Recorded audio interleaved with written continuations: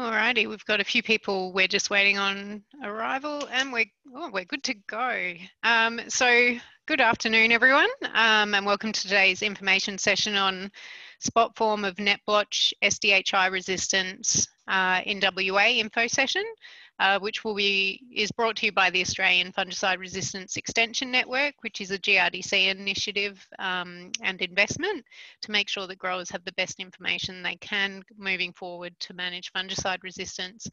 So um, today we've got Fran Lopez Ruiz and Wes Mair from the Centre for Crop and Disease Management at Curtin University um, presenting for us who um, managed the kind of discovery of this uh, with a regional um, agronomist, sorry. So I will leave you in their capable hands and we'll get going. And this will be recorded. So if you have to duck out, you can come back to it later. Um, I might just grab the next slide, Fran. Yep, so just some quick housekeeping. Everyone will be automatically muted and that's just to keep things audibly simple. To ask a question though, you will need to use the Q&A window. You can use the chat and we'll certainly see it, but we'll usually be able to see who you are as well. Um, and very unlikely event of a webinar hacking, you'll get sent another link. So next slide, Fran, is just to show you how to Q&A. So it's at the bottom of your screen. Click on the Q&A. You can choose to send it anonymously um, and we'll answer all of those at the end of the presentation. Next slide. So AFREN is a network. As I said, it's regionally specific because the risks are different across Australia in terms of fungicide resistance. And of course, today we're talking about a WA case study. Um, and over the course of AFREN, we'll be doing a whole lot of um, a guide, some workshops, information sessions like today, and a whole lot of information's on the website there if you want to get onto them. Uh, but I'll leave you in Fran and Wes's capable hands now.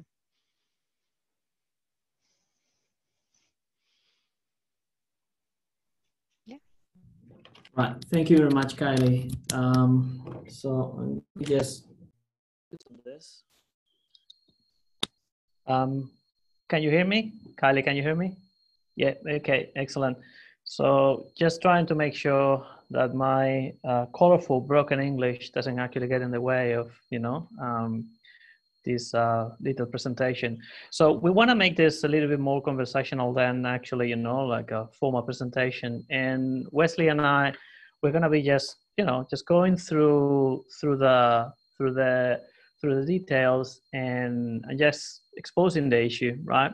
And I think that the the conversation probably has to go around more the management practices going forward than anything else, right?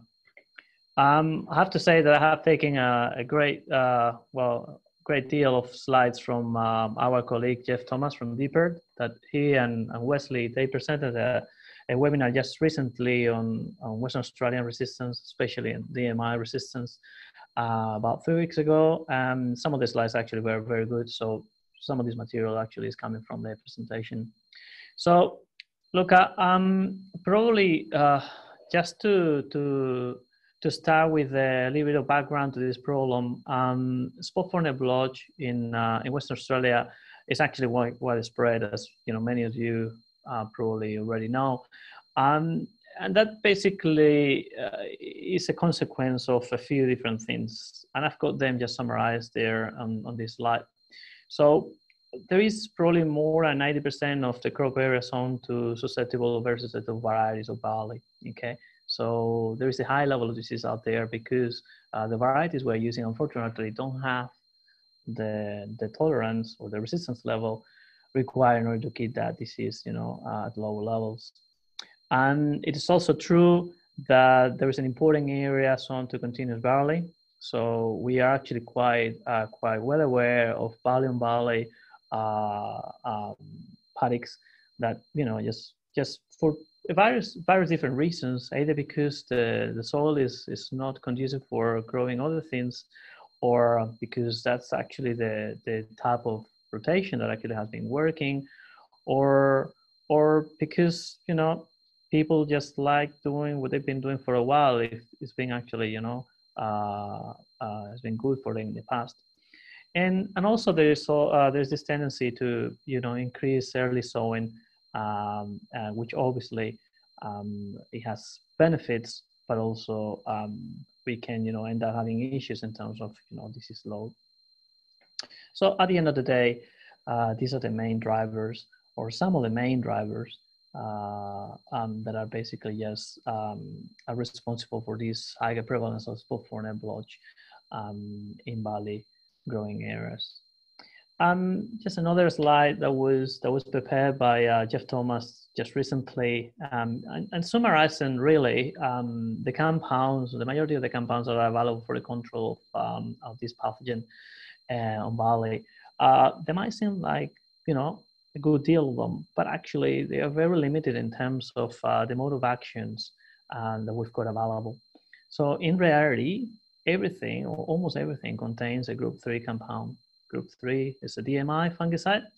And then we've got a few compounds that have been have been recently introduced, uh, group seven or SDHIs, uh, that are the purpose of this this little uh, presentation today. And also we've got um, um, uh, formulations containing group 11 chemicals, as strobilurins, right? So, but again, the great deal of the formulation contain group 3 DMIs. And just to remind a little bit what uh, Wesley and Geoff were presenting, uh, presenting on recently, there is a lot of resistance to DMI chemicals in net diseases, not just as spore form, but also net form, okay? Um, I don't know if uh, some of you or many of you are familiar with this, uh, with this slide, but um, this slide is is basically what really made us aware of a problem with SDHI resistance in the Yorke Peninsula in South Australia in 20, 2019. Now, um, I think that is very important um, to just recognize the part history here, right? Because that's really what is driving the problem. Um, these are Barium Valley paddocks, right? Systiva and Systiva upfront, right? And so basically selection pressure is there year after year, and we don't have a rotation that allows us to, to break from, you know, from that cycle.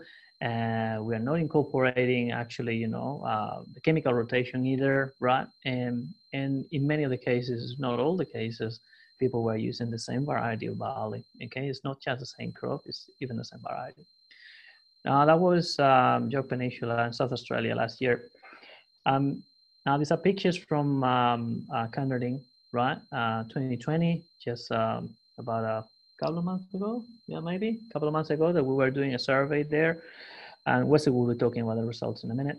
Um, and you can see that part history is actually very, very similar, right? It's Barium Valley, at least since 2018, right? And Systiva Systiva uh, since 2018 as well, okay? Um, this particular situation, um, many of the many of the areas that the high certainty is actually uh, a problem, right? And, and barley is as and I think as a, as a good choice in those cases, right? But the problem is that um, well, if we are losing the capacity to rotate those crops, we are not uh, putting enough attention into rotating the chemicals, right? And if we're still using the same chemicals, we're going to end up with exactly the same situation, right? And that's actually what has happened, all right? Um, just to um, make sure that everybody's on the same page with regards to the to the wording that we're using here, the nomenclature that we're following. Um, we we have classified the the resistance or the different sensitivity levels to the to the chemicals in three categories. So sensitive, is, uh, is an isolate taken collected from a sample or isolated from a sample um, that is um, sensitive to the, to, the, to the chemistry. And in the field, what you are going to basically say is that if you apply the chemistry, that treatment that you've been uh, using for a while, um, you're not have no issues. You're not have you are you are not going to have any issues controlling the disease, right? So your label rate is going to work, you know, perfectly fine, right? Now, when you when you have a reduced sensitive population, what you're going to see in the field is probably a small decline on the effectivity of the compound. You're still going to be able to control the, the, the disease and normally just increasing um, the rate that's basically achieved um, easily. Um, and in the lab, as you can see in the left-hand side, that's actually what it looks like, right? And in vitro assay, you have something that grows a little bit on media, right? But it doesn't look like, you know, uh, it is very happy. That is a reduced sensitive strain, all right? That will be the translation of what you see in the field in the lab. Now, a resistant strain or a resistant population in the field, that basically means that you've got field failure. So you use the chemi chemistry and you don't achieve uh, satisfactory control. And if you have a look at the picture, that actually is what it looks like in the lab. So it's a it's a it's an isolate right of the fungus that grows quite happily on media. I'm sorry, I didn't mention this. Amended with the fungicide that we're using for the control. Now, what does resistance look like in the field? So I've got a little picture there of uh, DMI resistance in uh, barley paddocks in South Australia.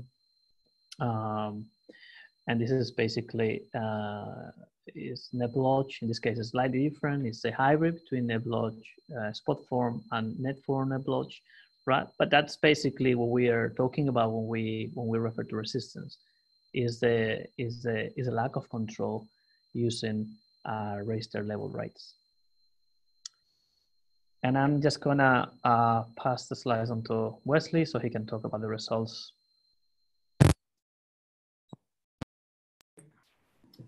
we got initially notified there was potentially an issue um, with loss of control in a particular paddock, um, which is the one that's highlighted in the centre, um, which was around the Cunderdin region. Um, so we, following uh, the detection or the report of that, we did a field survey where we went to five um, paddocks um, in about a, a 10 kilometre radius from Cunderdin.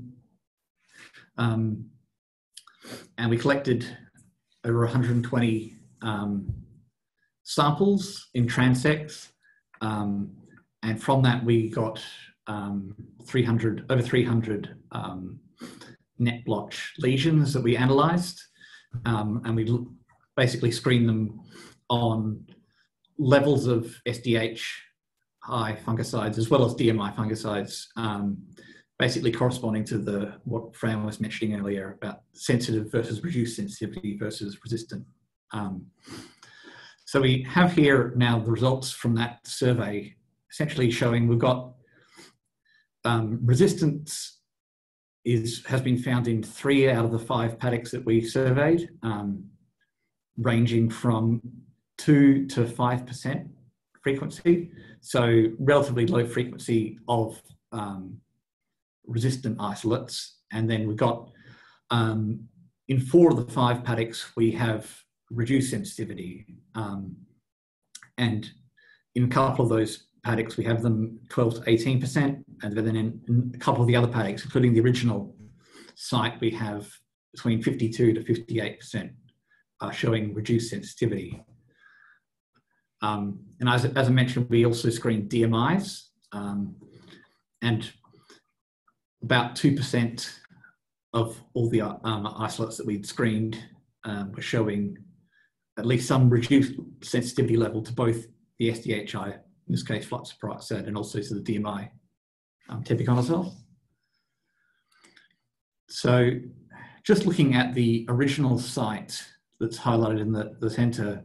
So we got isolate we got um, isolates from one original plant that was sent to us from that site um, and we screened for sensitivity and then of 12 um, isolates from that original plant that were showing reduced sensitivity we sequenced the sdh um, target genes um, in all 12 of those isolates to look for different mutations. Um, so what we actually found is that in just that one plant from that one site that we uh, screened, we found actually there was three different um, known resistance mutations that have been found. So I'll just go um, quickly through them. So we found in one out of the 12 isolates, we got uh, this mutation H134R in the SDHC gene. Um, so that is a mutation that has been reported in um, NetBlotch um, in the literature Um, for example, in Europe, um, where it has been correlated with um, high levels of SDHI resistance. And this is actually the same mutation that we've seen in the net form of NetBlotch in the Yorke Peninsula uh, last year. And I've also got here on the um, right-hand side, this mutation is also associated with high levels of resistance in some other um, important plant pathogens as well. Um, so one out of the 12 had that mutation. Another one out of the 12 isolates that we screened had another mutation, which was D145G in the SDHD gene. Um, and again, this mutation has been previously described um, in NetBlotch, uh, where it's associated with low to moderate levels of SDHI resistance. And again, this is another mutation that we've also seen in the net form of NetBlotch uh, last year in um, the Peninsula of South Australia. And then finally, we've got the predominant mutation that we found in that initial sample was 10 out of 12 isolates had um, mutation N75S in SDHC. And again, this is a mutation that's associated with low to moderate SDHI resistance in net blotches. Um, and unlike the previous two that I mentioned, this one has not actually been described in, well, we haven't found this one in South Australia in the net form, net blotch cases. So this one is, um, in Australia at least, is unique to spot form and in WA only that we've found it. Um, so with that, I'll pass back to Fran.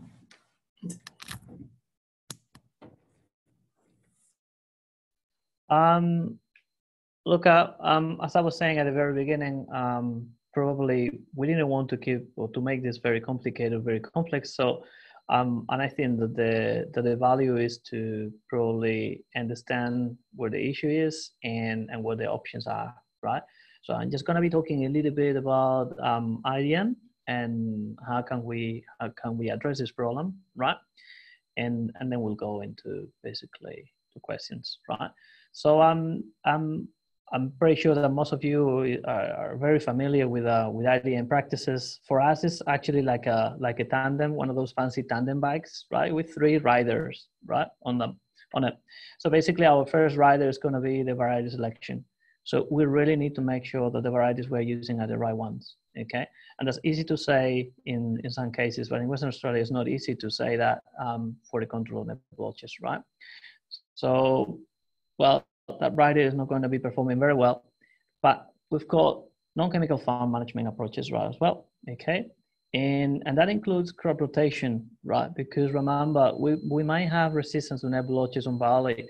That resistance is not going to transfer to wheat or to canola okay, or even to fallow, right, or to pastures, okay, and and and trust me, those those organisms are not resistant to fire.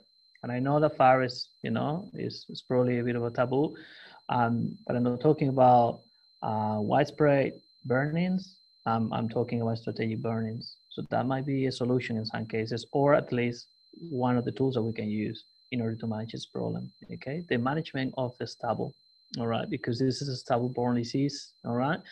And, and just using again slides from, from our friend Geoff, um, you might see a paddock with that beautiful stubble protecting the soil. Um, what we see under the microscope is what you've got on the right-hand side. If that stubble has been there, you know, it's a barley on barley, and that stubble has been there for a while, and that stubble is probably very, very uh, rich in disease so, and that disease is just waiting for the first rains in order to um, start expressing. And, and what is going to, to happen is that um, those fruiting bodies are going to produce heaps of spores, and those spores are going to be infecting very, very soon the, the new barley seedlings um, in, the, in the next season, right? Um, and then we've got fungicides. Okay, that's our third write-up. So it's not the most important one, even though it, it, receives a lot of attention. It's not the most important one. It's one that we have to rely on when there's when there's actually nothing else that we can do, right? So it's something that we use to complement everything else that we've done before. Okay, so the foundations are the variety selection and the non-chemical farm management practices. All right. So fungicides are there just to make sure that everything works in this um, in this uh, tandem. Okay. Now, what's going to happen if um, if we don't have these three elements working together nicely or as nicely as possible? Well, exactly the same as what would happen if you know you don't coordinate when you're uh, riding on a tandem bike. I don't know if you experienced that before, but that ends up with you on the ground. Okay, and it's not pleasant. I've done that. Um, so some chemical management tips. Uh, this is not rocket science. Um, what's the best thing you can do in order to avoid fungicide resistance? Well, not to use fungicides, okay? So limit the applications as much as you can. All right, that's probably one of the best strategies. If you don't need it, why would you use it? Okay, and that's easy to say again, but you know, in our current uh, chemical programs, it's, it's actually harder not to include those those chemicals when we're going to be spraying for other things anyway. Um, choose the right fungicide. Okay, not every fungicide is as effective against every disease. So choose the right fungicide that will help you controlling that disease that you that you're after. Okay, and if you've got resistance in your paddock, obviously choosing the right fungicide is going to become paramount, right? Because you might be using the fungicide towards which you've got um, resistance developing, all right, and you don't want that. Okay. Um, try to use different chemical tools in order to manage those pathogens, right? Instead of relying on one one particular mode of action, why not using two if you can? You're gonna be you're gonna be um, hitting that pathogen from two completely different angles, and it's going to be much more difficult for the pathogen to a survive and b develop resistance towards against the two compounds at the same time to the two mode of actions, right? So it's going to be much, much harder, okay? Um, I've got here never use the same group three fungicide consecutively, but I could actually say never use the same fungicide at all, right? Uh, consecutively, okay? So it doesn't need to be a group three. So I think that it should apply to every fungicide, all right? We've got enough fungicides in our portfolios in order to rotate those chemistries. So please don't use the same chemical uh, uh, uh, consecutively. Try to alternate them, all right? So um, avoid avoid using group seven and group eleven chemicals uh, more than once per season, and this is because they are quite different uh, from group three chemicals in the way that they can develop or or pathogens can develop resistance against them, right? So these these compounds are much more prone uh, to resistance developing, just because of the way they they they they act, right, at the pathogens level. Okay, so don't don't use them more than once per season. That would be actually much better. All right. Um, also, try not to use fungicides when you've got already disease levels at a very, you know, at, uh, at, at, at, sorry, disease at a very high levels, right? Um, because that's actually when your fungicide is going to be working uh, uh, uh, the least, right? I mean, you're going to have too much disease to control for the same level rate you're going to be applying, right? Even if you apply the highest level rate, disease levels are going to be too high, okay? So this is a numbers game. So try to control the disease when uh, the levels are still, you know, within reasonable parameters, all right?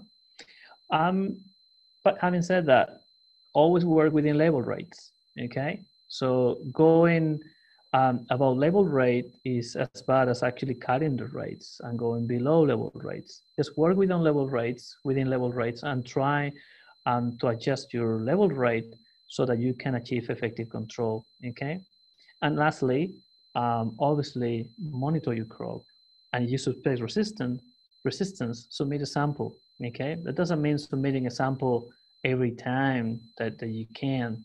So just have a thought about it Am I using the right? Uh, am I following the the uh, the label specifications? Am I using the li- the right rate? Is the season too conducive for the disease? And this is why I'm seeing high expression of the of this of this problem. Um, if everything basically ticks and you still have concerns, send a sample, all right? And I will be very happy to to test it. Okay.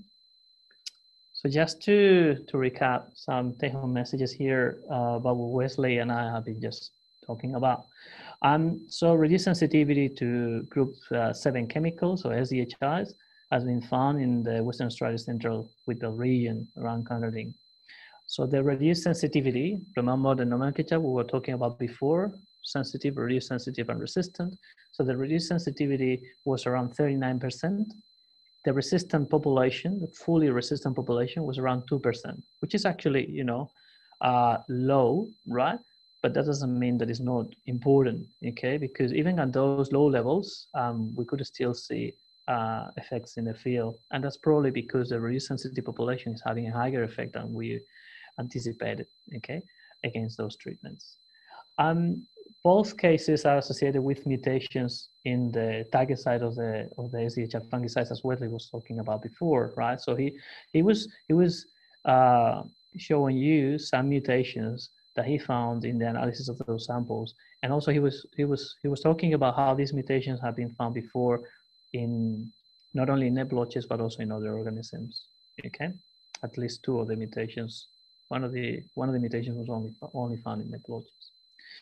So um, the resistance might not be very evident or not as evident as in the Yorke Peninsula situation because of the low frequency. And this is in line to what I was saying before. Um, but, you know, uh, I think that this is a very good, we're in a very good position because we, we managed to identify this early enough. Now, the reason why we managed to identify this early enough, and I think this is very important to take into account, is because the industry was watching, right? And we had, you know, heads up from from somebody in the industry that was, you know, closely following uh, what the situation was with regards to these paddocks, right? Because he had concerns about, you know, the management of these particular paddocks. Okay.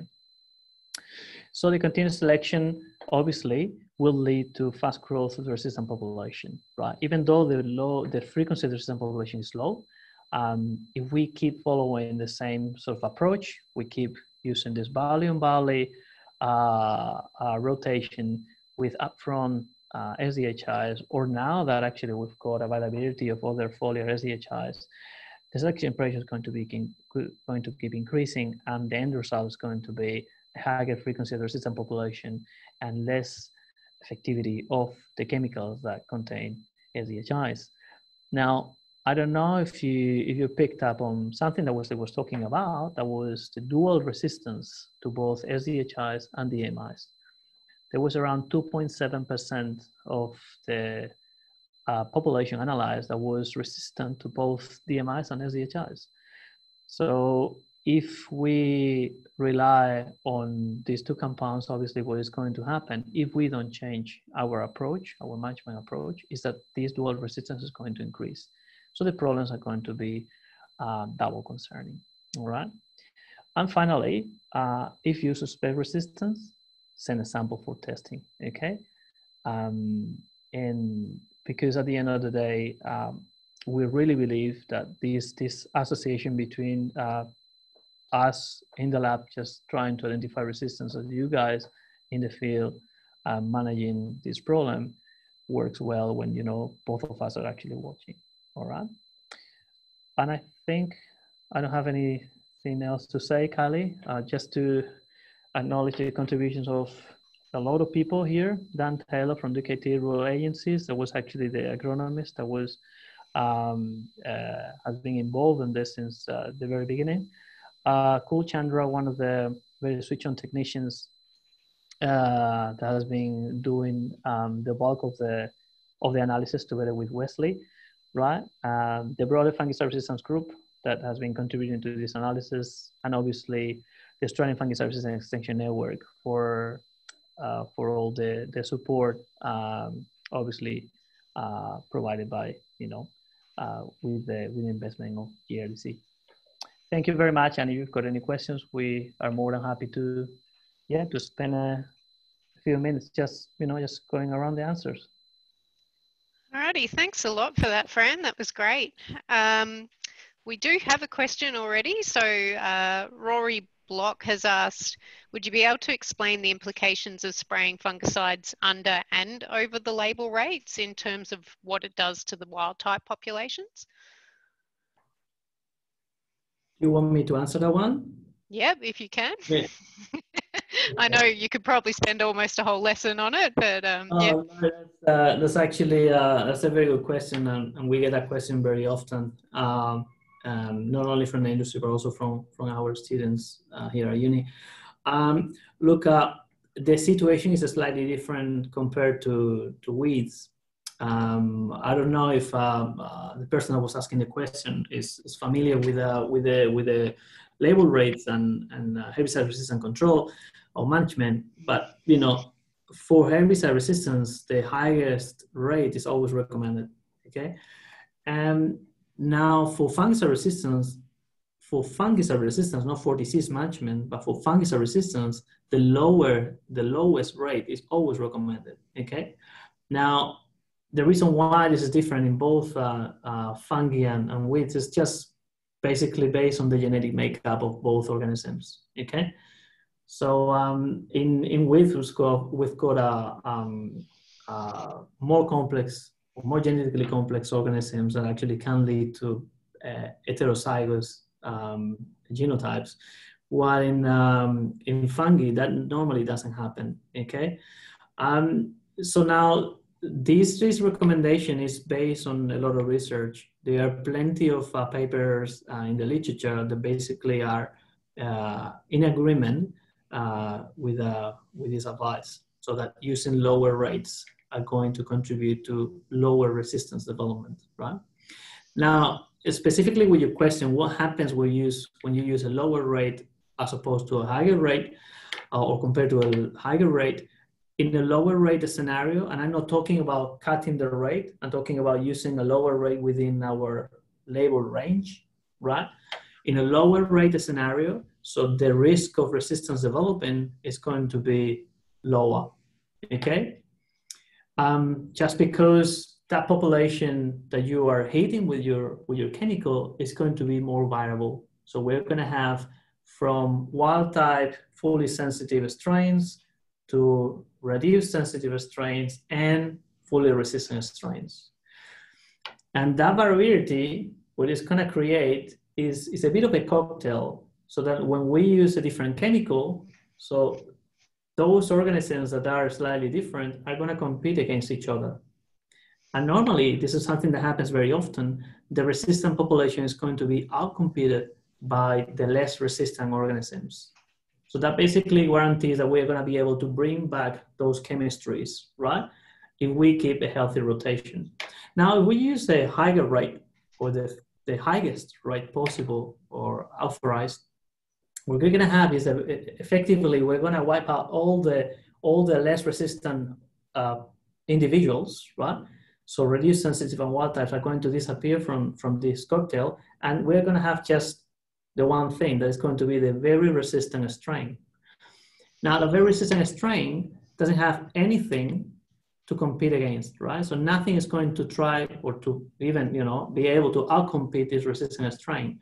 So if we were to remove now the selection pressure, the fungicide, that resistant strain is going to stay. In a low rate scenario, we remove the selection pressure and now everything can compete against this resistance strain, okay? I don't know if I if it took a little bit of a detour to explain, you know, um, but that's basically the main reason, right? It's competition at the end of the day. Yeah, but and even within that, though, obviously the label rates says a lot of research, so you want to be staying within those because if you go under, you could just be letting you wouldn't be getting effective disease control. Right. And then also, if you're at really high disease severity and you've assessed that, then stick to the higher label rate if that is what the label says to do, correct? Yeah. Yeah. So there's a, I mean, it feels like a little bit of magic sometimes, but I, I think it's just, oh, there'd be a lot of people who would have a feel for that in the field as well. Um, we've got another fun one for you, Fran. Um, from West PB. So can you explain the development of resistance to group sevens? Um, have you seen group, it actually says group seven strobies. So group 11s are strobilurins um, and group sevens are SDHIs. So it might be, maybe if we can compare those two. Um, and have you seen any levels in these populations or in your general survey work? So I guess maybe touch on the difference in development between a group 7 and a group 11 and whether we've seen any group 11s as well. Yeah. So um, there is no full resistance to group 11 fungicides or strobilurins in, uh, in the blotches. And that basically, the reason for that is because there's a, there's a genetic feature that avoids uh, a particular mutation from happening. That mutation doesn't happen, so there's no full resistance. That doesn't mean that resistance cannot develop, but it was it will be partial. Okay, it will be sort of a reduced sensitive situation, right? Um, no, we haven't seen any of that in in Australia yet, uh, fortunately. We have seen strobilurin resistance in wheat powdery mildew, so that basically, you know, it, which is which is quite common, right? and and we expect to see strobilurin resistance in net blotches at some point, just because you know strobilurins are used and it's a natural process. I mean, it's just part of the game, right? Um, now, uh, in other organisms, resistance to strobilurins is is total. So once it develops, um, the population is totally immune to the compound, and actually the crop dies of phytotoxicity if you increase the rate and rather than actually you know affecting the, the pathogen. So the pathogen is quite happy. Um, with SDHI the situation is a bit different right? Um, you don't have that total immune situation. So you've got mutations that can provide very high levels of resistance but but you don't have that sort of situation where the compound is totally ineffective right um, now resistance happens probably as quickly as in SDHI as it happens in, in strobilurins, right? So that actually is a commonality between the two. Um, and in this particular case, um, probably as uh, uh, uh, uh you are aware, um, resistance to SDHIs um, has been previously found in, in Australia, in the Yorke Peninsula. Uh, we have also found, Wesley has found mutations in the, in the Eyre Peninsula as well. And uh, we also got mutations that confer associated with resistance in the, on the border with Victoria. And, and now here in Western Australia, is it's a spot form, right? It's not net form, okay? But we knew that it was going to happen.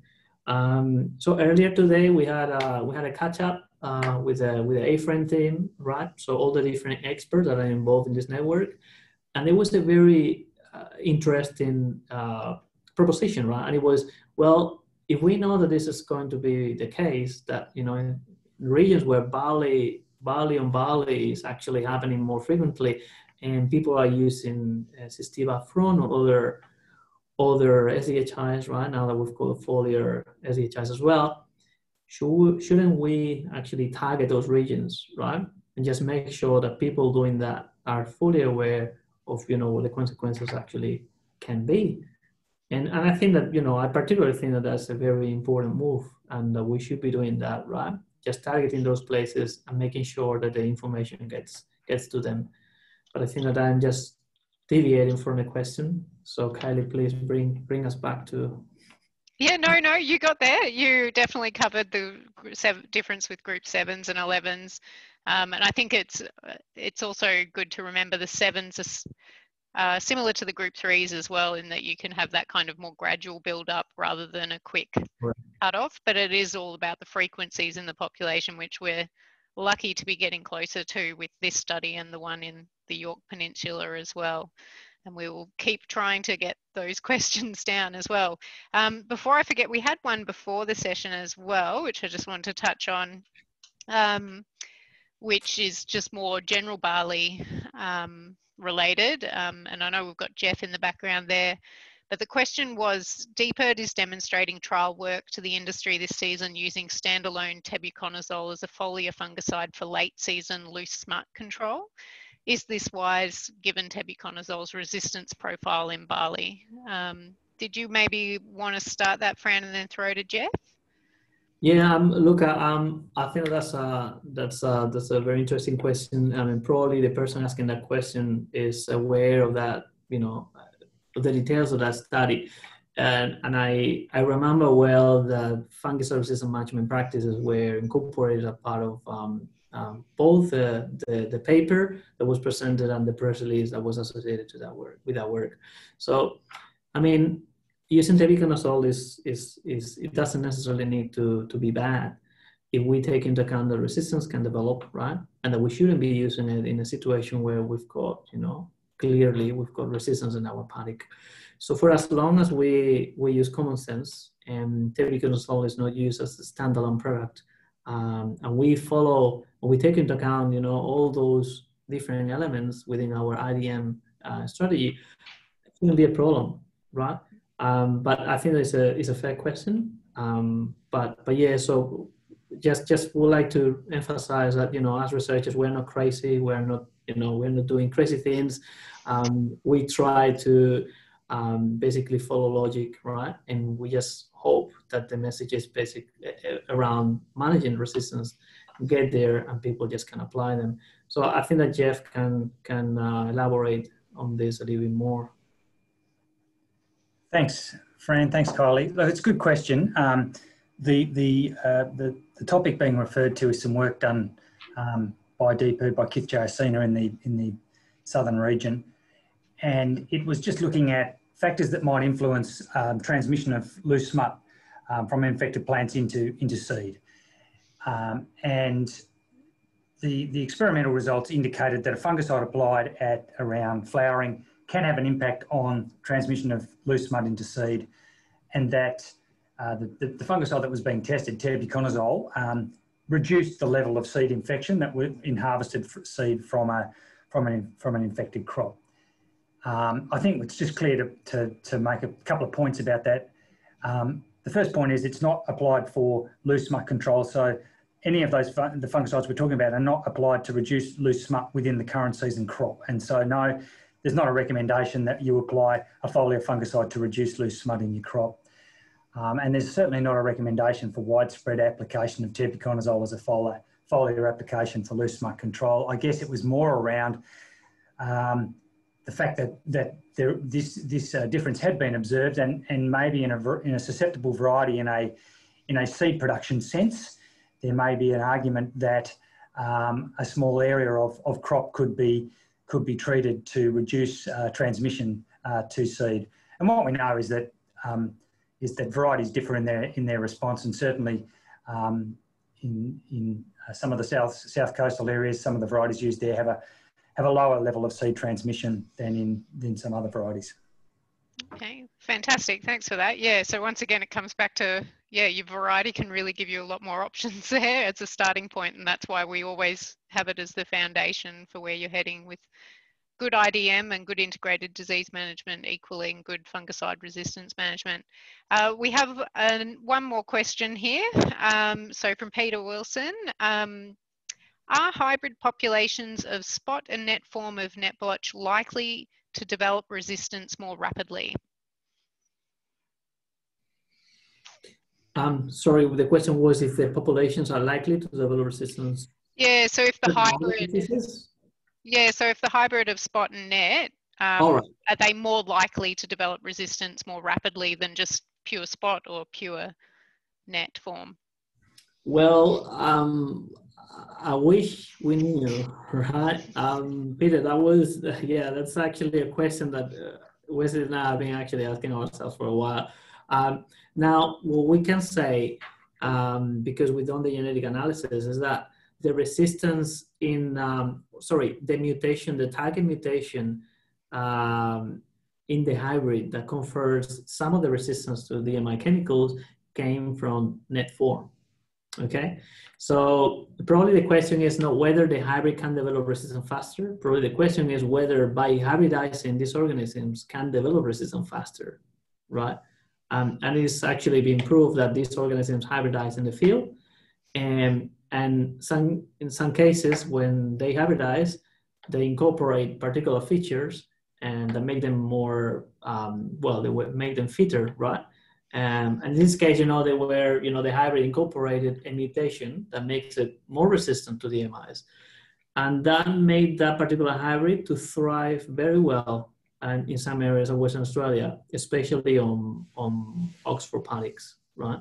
So, so yes, going back, it's not that a hybrid can evolve faster. It is possible that it does, but we don't know that yet. Um, but is is that the, the, the the point that they can actually hybridize make them actually a better a better organism, right? Because they can adapt um, better to the selection pressure that is being applied by by us in the field, right? Yep, good notes there. Yeah, so it's all about yeah, we're playing a selection pressure game really with what we're putting into the system, and then the fungi getting selected out of that, even if they are hybrids. Um, just a, a, quick note for everyone, we do have a survey there. If you could give us like a feedback, it'll literally take a few minutes um, and it'll help us do better extension in the long run. I might just grab the next slide if I can, Fran, while I sure. give people a chance to find that link and we will send the link out later today along with a link to the recording um, that you can share with your friends and family, all other growers and advisors. Um, so we've had plenty of questions. Next one, Fran, is just to let you know we've got the resistance extension network across the country. We're able to tap into canola specialists, um, heaps of cereal pathology experts, and people who've experienced different fungicide resistance cases across the country. Um, so please do get in touch. If we go to the next slide. Yep, that just shows the uh, contact details for your WA contacts. So we've got Geoff here at South Perth, Kith in Albany, and Andrea in Esperance from DPIRD, as well as Wes and Fran here um, in at the CCDM at Curtin Uni. Um, so we will have the management guide coming together now. Um, there's still going to be more workshops, info sessions. If you missed the webinar on WA fungicide resistance, that's a good uh, one to watch get you just up to speed and up to date um, and goes through some of those management messages we've covered in a little further detail. Um, and as always, if you're suspecting fungicide resistance, you know, let us know um, and we can put you in touch with the, the right people, a good regional pathologist to double check what's going and go through the basics. Um, and then if it really does look like it might be, sending it on to our team or another team to make sure we can test it. Um, so with that, um, I'll just check, is there any final word from you, Fran and Wes? Okay. No? we, are fine, right? Yeah, yeah we yep. spoke enough, I think. yep, brilliant. And um, Geoff's in the background there, so I think he's, are you all good, Geoff? Good. Yep, no worries. Thank you very much. Um, please get in touch. We're happy to hear from you and happy to help um, everyone manage this going into the future. Alrighty, cheers, guys. Okay, see ya. Bye.